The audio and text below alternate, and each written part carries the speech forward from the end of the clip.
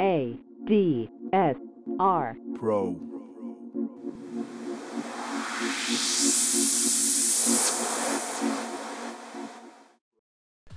Hi guys and welcome back to ADSR Pro with me, Mike Smith.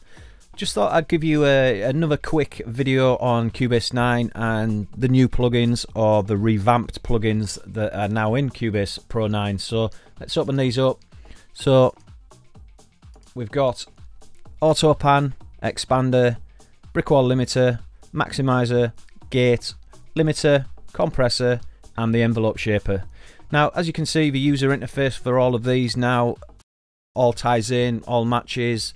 Um, some are a little bit bigger, the auto pan's a little bit bigger, and now you've got the feature of being able to manipulate the shape of the auto pan, which is nice. Expander, uh, sorry, the envelope shaper is pretty much similar to how it used to be. It just ties in with all the other plugins now, but for me, an essential staple. And yeah, I really like them. Uh, graphically, I think they look nice real clean, real simple. Visually, they're easy to read, and most of all, they, they sound great. You know, especially the auto pan. I'm, not quite sure what they've done to that, but it just seems to be better than the original. Uh, that's just my opinion. I could be completely wrong, but it just seems to sound a lot better. It's, it, I don't know, it's wider. It's, uh, it's, it's nice. Um, as for the other plugin, you've got the new frequency, which is a 8-band EQ and really really nice. To be honest for the money of the upgrade from 8.5 to 9 this plugin for me was worth it alone. It sounds really nice. Not the prettiest looking thing in my opinion but to be honest what it does compensates for that massively.